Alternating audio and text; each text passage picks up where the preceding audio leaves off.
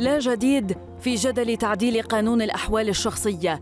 تتدحرج كرة اللهب حول القانون مصحوبة بحملة شعواء يقودها سياسيون وبرلمانيون وشيوخ عشائر ويحمل راياتها رجال دين وتثبت الحملة ساعة بعد أخرى نقاط اشتباه لطالما اتهمت بها القوى الماسكة بالسلطة. مو كل المحافظة مأيدة هذا التجمع العشائري اللي صار وتأييدهم لتعديل قانون الأحوال الشخصية. إحنا رافضين لتعديل قانون هذا الأحوال الشخصية. والسبب يعني أنتم بأي أساس تحكمون المرأة؟ بأي أساس تسيطرون على هاي العوائل؟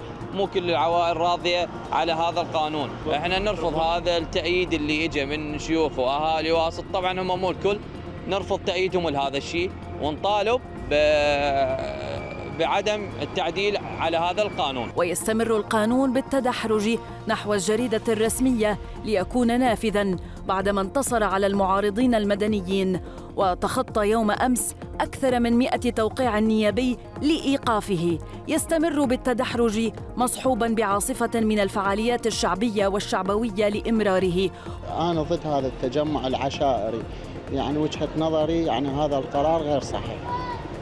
إحنا ضد قانون تعديل الأحوال الشخصية هذا الأخير اللي صدر بسلب حقوق المرأة، المرأة هذا قانون قديم معمول به منذ زمن يعني زمن كلش بعيد إنه للمرأة حقوقها لأنه يصير استهتار بالمرأة يعني من طرف الرجل الطلاق صار بالمحاكم تروح كل شهر يعني إذا يتزوجون ألف يطلقون 700 فسلب حقوق المرأة. هذا قانون غير صحيح. لم يعد قانونا عابرا.